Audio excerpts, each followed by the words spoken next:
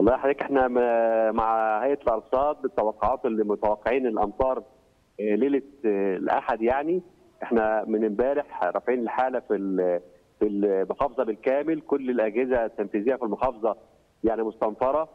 بقيادة معالي وزير المحافظ والسادة النواب والسكرتير العام والسكرتير المساعد وكل شركات المرافق. نشرنا كل السيارات والمعدات اللي تتعامل مع الأمطار. أكثر من 180 سيارة ومعدة منتشرين من أمس صباح أمس.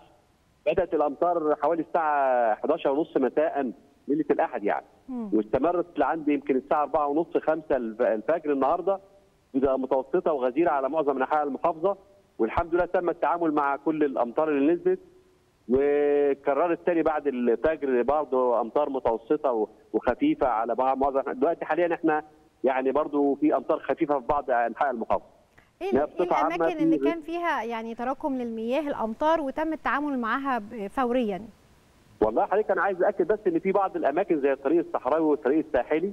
هم دول يعني غالبا ما فيش فيهم خدمة صرف صحي إنما إحنا سياراتنا موجودة هناك وبنرفع الميه أول بأول يعني مم. تجمع بعض الميه واترفعت على طول الحمد لله بدون أي اعاقه مرورية أو تأثير على الحالة المرورية في المحافظة.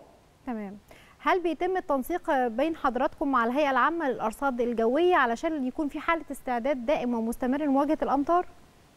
أكيد والله يا أستاذة دينا طبعا هيئة الأرصاد مشكورة مكلفة آه، زميلة فاضله الدكتورة إيمان شاكر معانا على طول على مدار الساعة حتى يبقى في توقعات بسحب توقعات برياح توقعات بتأثيرات مناخية.